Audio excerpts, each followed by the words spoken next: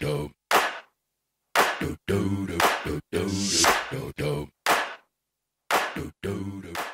The Galaxy S6 Note 5 generation was a bit short on battery capacity, but this year Samsung did better. The Galaxy S7 has as big a battery as the Note 5 3000 mAh and the new Samsung Galaxy Note 7 got an even bigger battery 3500 mAh. So, what's battery life like? Better than the Note 5, sometimes much better. Battery capacity is up around 16% and improvements in battery life array on that scale too. There are two versions of the Galaxy Note 7 and we tested both. The one with Exynos 8800 and 90 has 10% to 20% better battery life compared to the one with Snapdragon 820. The talk time and web browsing time show the biggest deviations by 2 hours and almost 2 hours respectively. The two versions of the Galaxy S7 Edge powered by the same chipsets also show different results, but the Note 7 variants are more consistent. For example, the Exynos-based S7 Edge browsed the web 30% longer than its Snapdragon twin, while the Notes show only 20% difference. Similarly, the gap in video playback times is 20% vs 10%, for calls it is 15% vs 9%.